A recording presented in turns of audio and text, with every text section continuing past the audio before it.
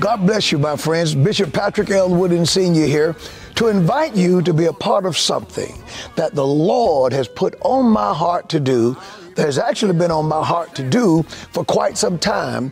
But due to the COVID uh, uh, breakout, the pandemic, and different things, uh, this was kind of a put on delay. But the time has come. I want to invite you to join me in any way that you can, whether you're in person or uh, online, however you want to join or however you can.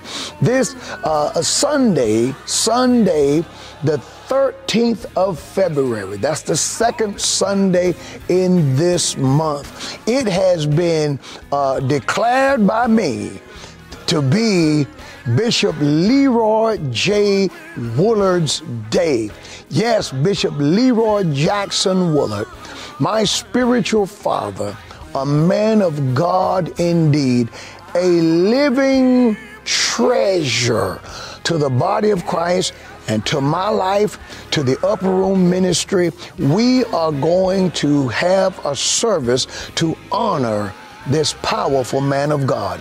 I affectionately call him my dad because I tell you, he's been a dad, he's been a father, he's been a confidant, he's been a friend, he's been an instructor, a leader, and the truth is, he still is. I call him and he prays uh, for me, he gives me counsel.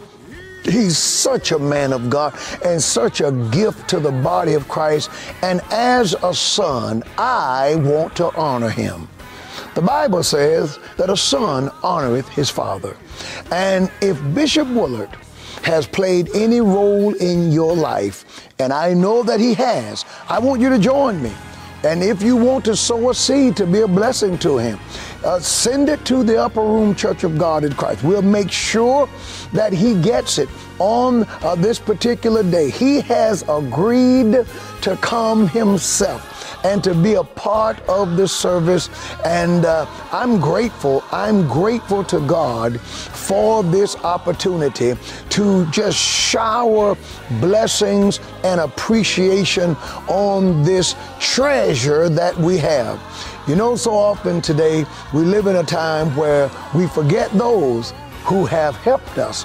Well, I want to honor this man of God. And if he's been a blessing to you, and I'll tell you this if I've been a blessing to you, He's been a blessing to you.